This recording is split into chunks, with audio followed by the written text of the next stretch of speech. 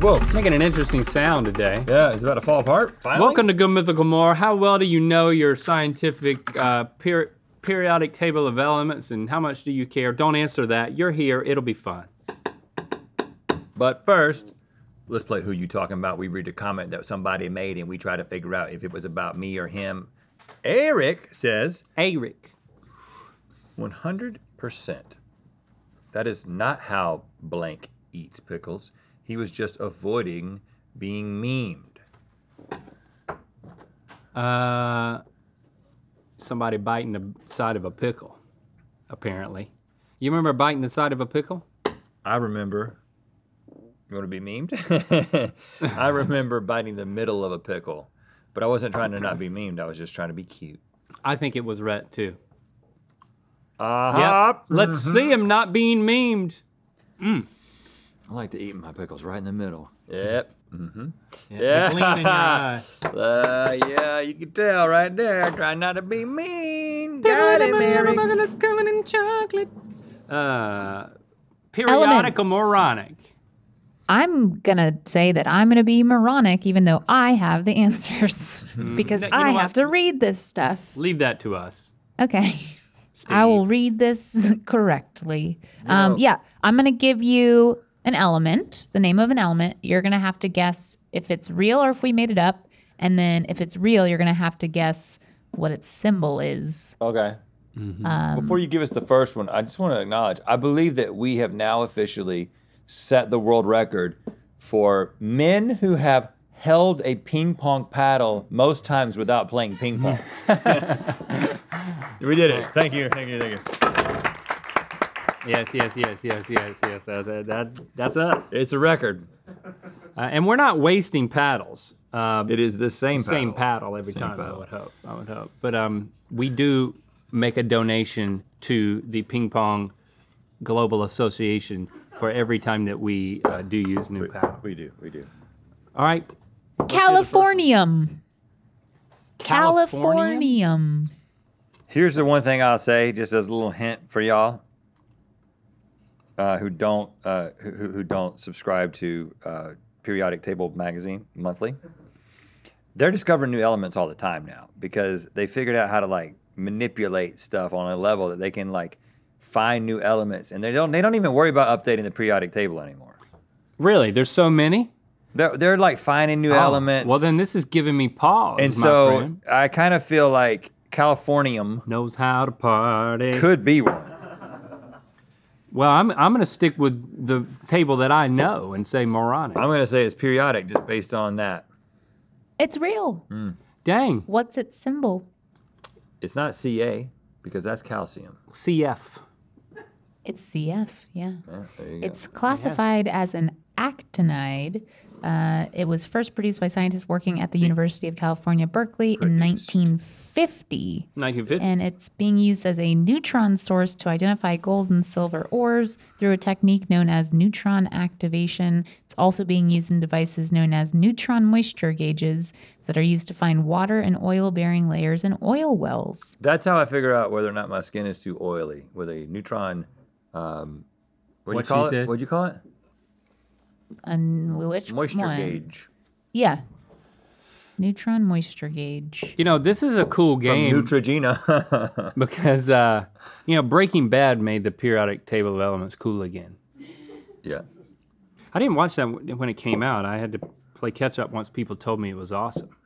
I mean, not that late, but not in real time or anything.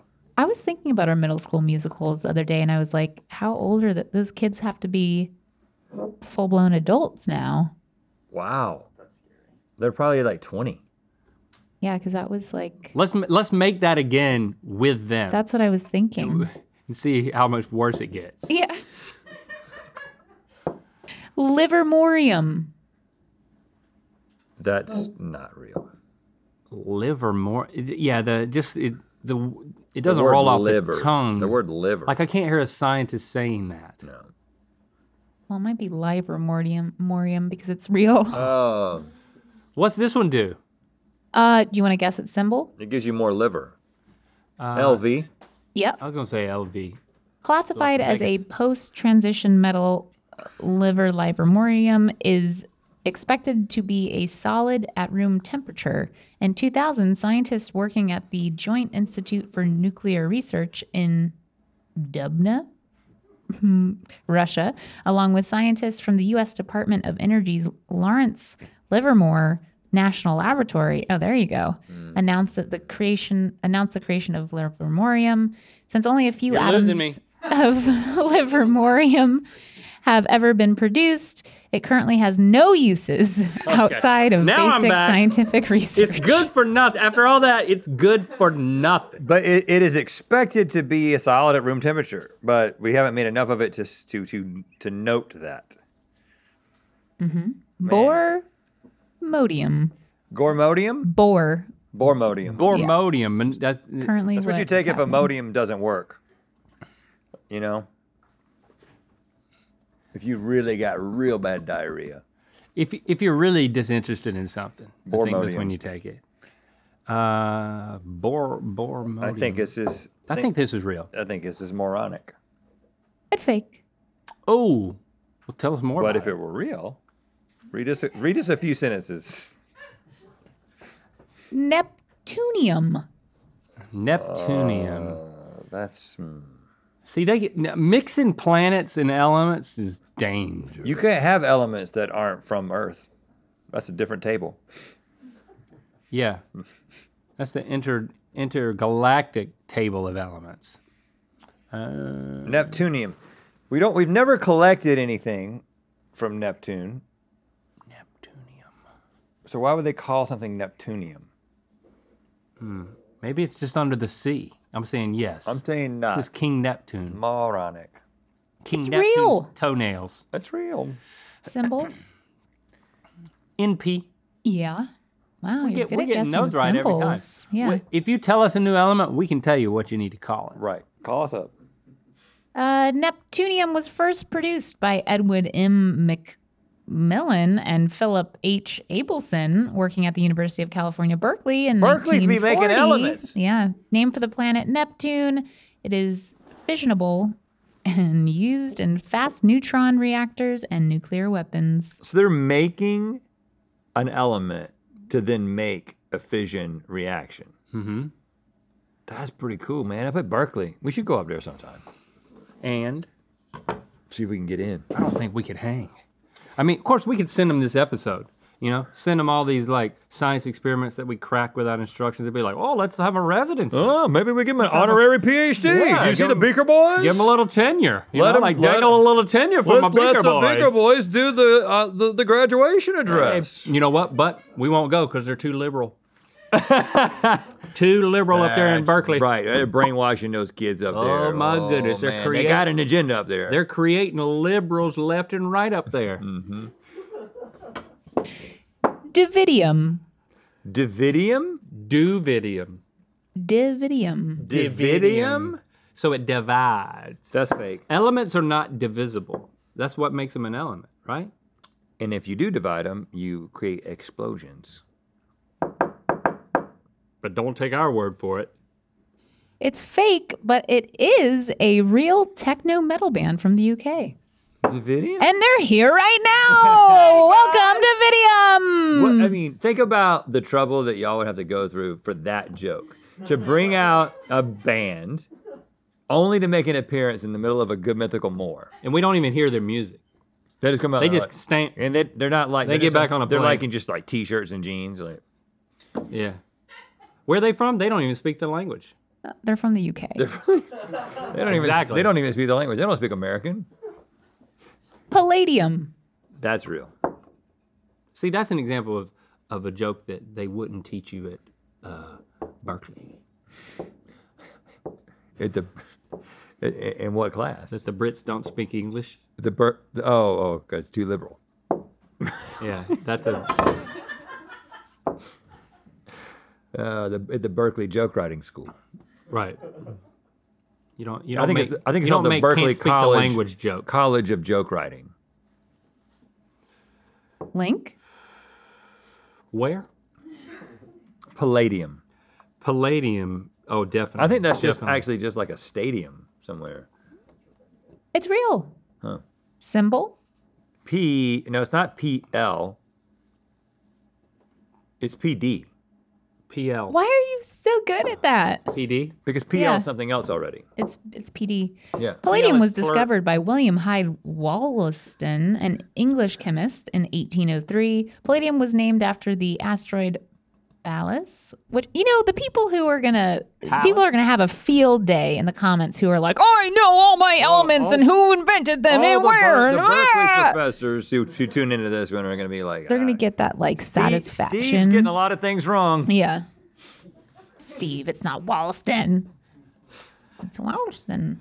The only people Um, listening to what you're saying else. are the ones that are saying that you're wrong. Everyone Yeah. else is like, ah. That's true.